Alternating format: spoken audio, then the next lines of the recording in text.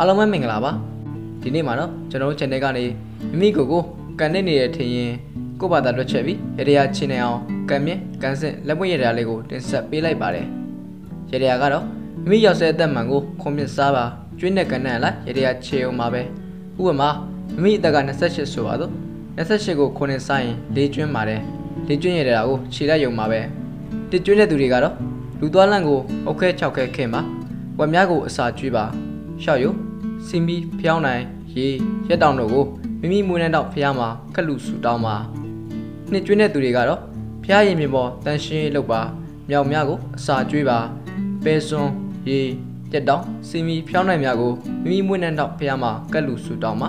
သုံးကျွေးတဲ့သူတွေကတော့ဖုန်ကြီးကုလီတန်ရှင်းလုပ်ပါကျမ်းမာရေးမကောင်းတော့တောက်ကြသားသမီးကိုတစ်သီးလူပါတီးစုံစွန်းရေရက်တောင် အလင်းနိုင်များကိုမိမိမွေးနှံတော့ဖျားမှာကက်လူဆူတောင်းပါ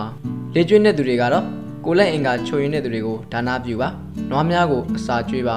နို့ထမင်းရေရက်တောင်အလင်းနိုင်များကိုမိမိမွေးနှံတော့ဖျားမှာကက်လူဆူတောင်းပါငါကျွေးတဲ့သူတွေကတော့မိမိမိတ်ဆွေကံမကောင်းသောအိမ်တွင်းရင်ဖွင့်တံများကိုနားထောင်ပေးလိုက်ပါမိမိအိမ်တွင်ကိုတန်ရှင်းလုပ်ပါအုံစွန်းရေရက်တောင် အလင်းနိုင်များကိုမိမိမွေးနှံတော့ဖျားမှာကက်လူဆူတောင်းပါခြောက်ကျွေးတဲ့သူတွေကတော့မိမိဒေါ်ကြီးတော်လေးအားငွေကျပ်6000ဒါနာပြုပါခွေးများကိုအစာကျွေးပါကျန်တကာစွန်းရေရက်တောင်အလင်းနိုင်များကိုမိမိမွေးနှံတော့ဖျားမှာကက်လူဆူတောင်းပါတုံညာကျွေးတဲ့သူတွေကတော့စိတ်မကြမ်းမာသူကိုဒါနာပြုပါဆရာသမားတို့ဦးကိုထိလက်ဆောင်ပေးပါစီတမင်ရေရက်တောင်လင်းနိုင်များကို မိမိမွေးနှံတော့ဖျားမှာကက်လူဆူတောင်းပါမိမိကိုယ်ကိုကန်နေနေထရင်ဒီရရလေးကိုဂယုဆိုင်လုပ်ပေးပါခုနှစ်သားသမီးများစိတ်ချမ်းသာခြင်းကိုယ်ချမ်းသာခြင်းနဲ့ပြည့်စုံနိုင်ကြပါစေအားလုံးကိုကျေးဇူးတင်ပါတယ်